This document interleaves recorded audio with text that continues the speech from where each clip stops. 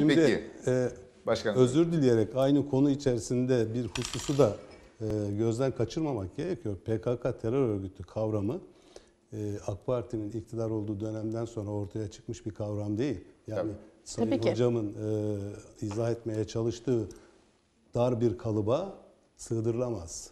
40 yıldır yani 1983-84 yıllarında eylemsel hareketlerine başlamış bir siyasal örgüt ve 12 Eylül'den sonra oluşturulmuş bir örgüttür. 12 Eylül öncesinde hatırlayacaksınız DDK, DDKD, Rızgari, Kava gibi e, ılımlı Devrimci Kürt hareketleri ılımlı sosyalist e, hareketler vardı. Fraksiyonlar diyelim bunlara. Bunlar bugünkü tanımı içerisindeki bir örgüt yapılanması değil, tamamen sosyal politikaları sosyalizmle tanımlamaya çalışan, bunun hakimiyetini e, kılma doğrultusunda çalışmalar yapan, yani toplumu o şekilde yönlendirmeye çalışan ıl- ılımlı sol fraksiyonlar vardı. 12 Eylül faşist darbesi Türkiye soluyla birlikte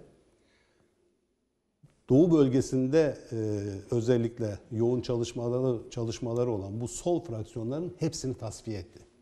Ve yerine PKK terör örgütünü kurdurdu. Şimdi hep e, bazen sosyal medyada bazen internetteki sitelerde görürüz. PKK'nın kurucusu, e, elebaşısı e, MİT ajanıdır diye. Evet. Buna benzer bazı söylemleri sizler de okumuşsunuzdur.